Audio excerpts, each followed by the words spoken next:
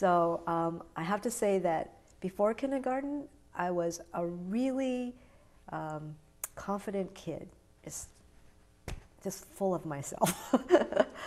um, uh, but once I went to school, uh, all of a sudden the, the fingers started to be pointed at me, and the ching chong Chinaman, um, slant eyes. Uh, why is your nose flat? You know, that actually, the, why is your nose flat was the first day of school. And it really hurt me. Like, what do you mean? I can't remember being in an accident or anything.